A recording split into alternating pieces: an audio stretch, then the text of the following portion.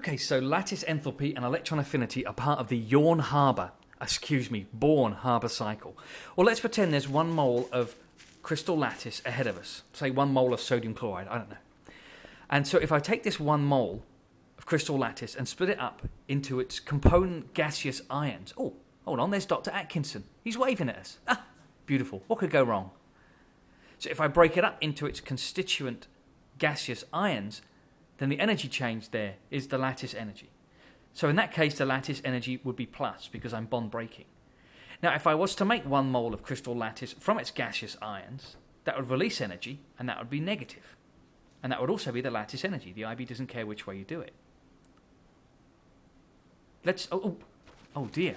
I seem to have dissolved all those ions in water. So remember, it must be gaseous ions. If you don't say gaseous ions in your definition, you'll lose the point. So that's lattice energy.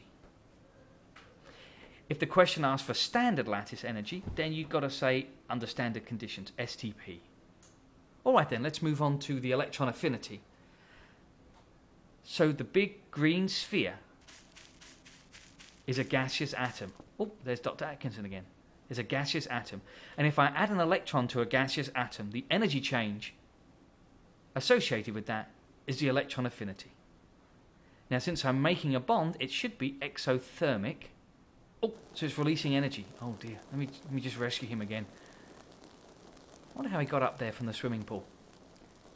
Anyway, so electron affinity is always a delta H negative process. You're making a bond. Okay, let's run over here away from all the danger. Oh dear, it's my boss. I wonder what he's got to say. Darth Vader says that lattice enthalpy can be defined in two different ways. You can make one mole of an ionic crystal lattice from its constituent gaseous ions, that's lattice enthalpy, or you can take uh, one mole of a crystalline ionic lattice and break it up into its gaseous ions. Now, if it's standard, you have to say STP. And electron affinity, well, that's the energy change associated when one electron is added to a gaseous atom to make a gaseous negative ion.